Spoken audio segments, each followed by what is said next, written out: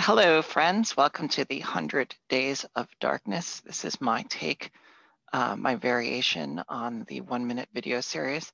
Uh, thanks to Rachel Merriweather and others for the inspiration. I'm going to do daily one minute videos about self-care and well, whatever other themes emerge during that time.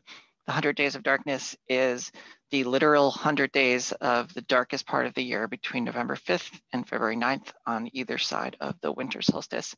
This is something I struggle with every year and many people do, given the context of struggle we already have in the world and the particular challenges I've had in my life right now, it seemed prudent.